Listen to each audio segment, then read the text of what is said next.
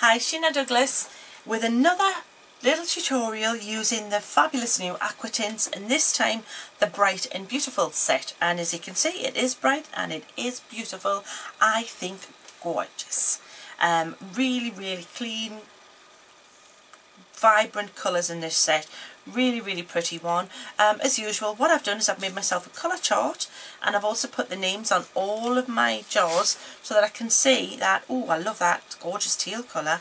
Oh it's number six and it's in the Bright and Beautiful set. So then you know what you're going to work with. Now, the technique I'm going to show you with this set, of course, all the techniques that you've seen with the other videos um, will work across the board, but I'm going to share with you the and crystal technique in this video. And this is what you, you're looking at. I think that is, that is amazing. It's otherworldly, really, isn't it? It's like a, the constellation where I live in a galaxy far, far away. A um, little bit of glitter added to the mix and it can look even more um, cosmic.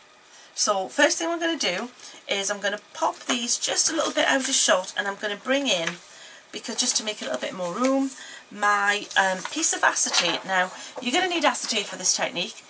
If you want to stamp on it and emboss on it, I would definitely say you want the heat resistant acetate.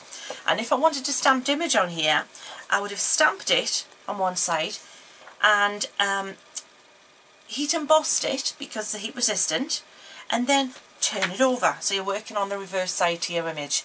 You can just stamp a line using archival or StazOn Remember if you use archival you have to heat it to set it and then work on the opposite side. So that's your little start of a 10. Also want a piece of paper to carry it because it can get a little bit unruly. The other thing you're going to need is a piece of tissue paper was initially, I used to buy this fancy tissue paper. Now, it's whatever I've got at hand. Even a bit of the kitchen paper. Even if it's a patterned one. Just separate it, take it apart, and then get rid of the pattern bit. These little embossed bits can actually add a bit of interest. I've got a little offcut here that you might be able to see. If you look in there, can you see where there's like little bubbles? I'm sure that's been caused by the little um, indentations in the in the kitchen paper which I think is really cool. Looks kind of like it's done underwater. Okay? So just whatever you use. It could be um, tissue, could be, you know, kitchen paper, whatever. And you're going to scrunch it up. And that's now going to be ready to play. We'll open it up a little bit, but you want that scrunched up. That's what's going to give it the interest. Next thing you need, and you definitely need this, is this. It's really difficult doing Give Us a Clue on TV and trying to let you see what, what this is all about. It's the um, Pledge Multi-Surface Wax. That's the new name. I still call it this, Klear, because I've bought it for years for this uh, process, for this technique. Um, but this is the new name. Pledge Multi-Surface Wax. You can get it, I'll get it in, you know, Asda, Sainsbury's, all that kind of malarkey or any of your large, you know, supermarkets. Um, and it is supposed to be a floor cleaner. Ha! as if it's a, one of the best additions to your craft room ever. Because it is a liquid glaze. It's kind of like if you imagine a, a, a glossy kind of glaze just diluted down further. I like to pour a little bit in a lid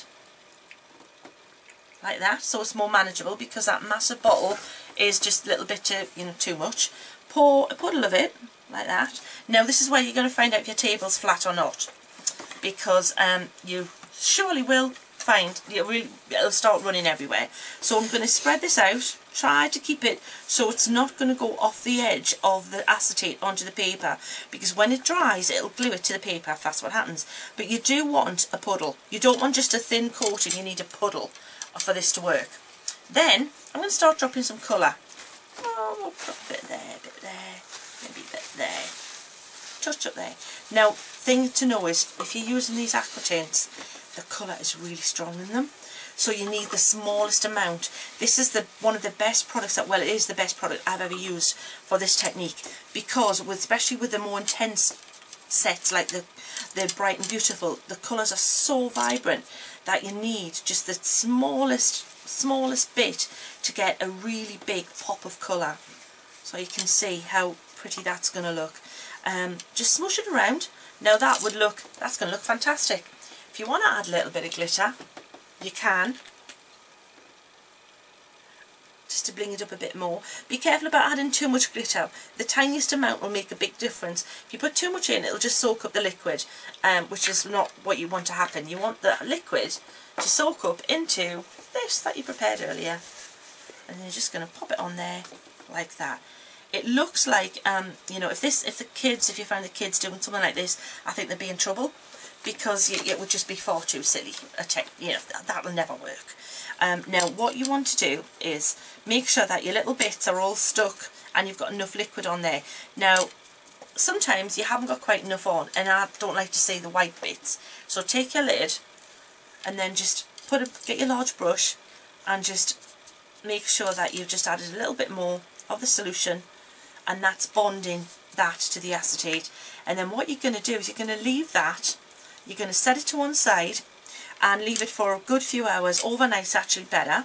You can force dry it after about a couple of hours with it.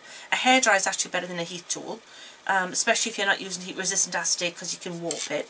But just gently encourage it to dry and then that liquid will, even though it's cloudy as you can see in there, hopefully, it will dry crystal clear.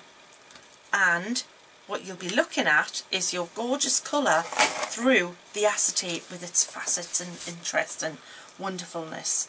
And you can imagine, so what you'll do is just trim that all together and you've got a gorgeous background for um, your cards. And I don't think anything looks like Coton Crystal. There's just not another technique that looks anywhere close to that. Um, but these colours are amazing for this technique. So there you go. Um, thank you and look out for other videos, quick tutorials using the aquatints. We will be adding to them all the time because they're such a fabulous versatile product. Have fun!